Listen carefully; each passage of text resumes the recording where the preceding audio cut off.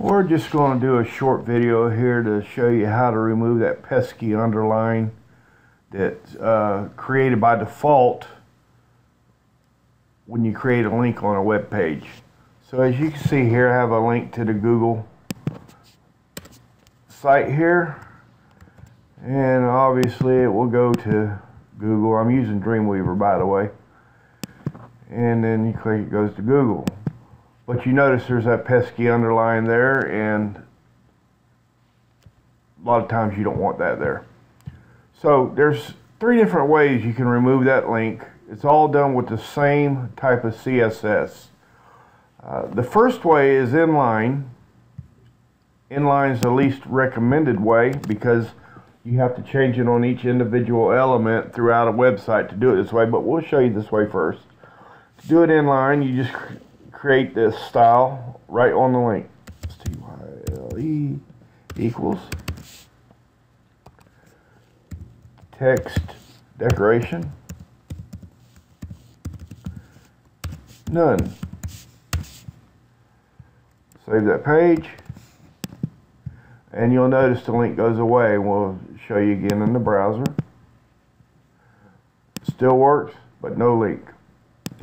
A second way you can do it is on the page itself. So let's remove this style here. This is also not recommended because again you'd have to go to every page that you need this done for. Alright, so you create right on the page a style sheet.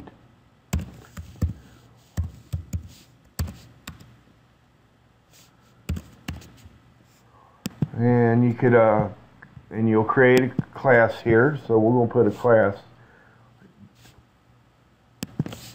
We're going to call it remove underline. Classes start with a period or a dot.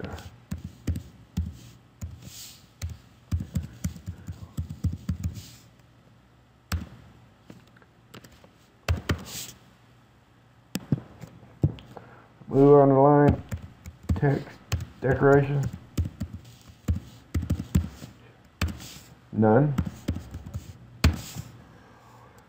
Save that, and again, you'll we need to put the class right on the link. So class equals remove underline, and we'll save that.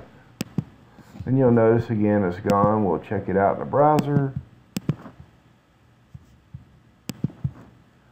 And there you go. And the final way and the recommended way, so let's go ahead and just take that out, is with a style sheet. And the reason why you want to use a style sheet is because you can make one edit in the style sheet and it will change all links on your entire site that has the class associated with it. So let's open up style sheet and you'll notice I've already got it here for the sake of expediency. We're going to remove the comment there. Remove underline. And we had the style sheet linked to our page. You'd have it linked to all your pages right here. And we still have our class remove underline here. And you'll notice there's no underline. And again, checking it in the browser. And it's still working.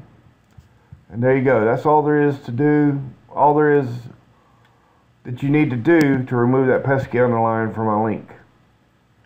I hope you got something from this video. If so, leave a comment below or subscribe. And you have a good day.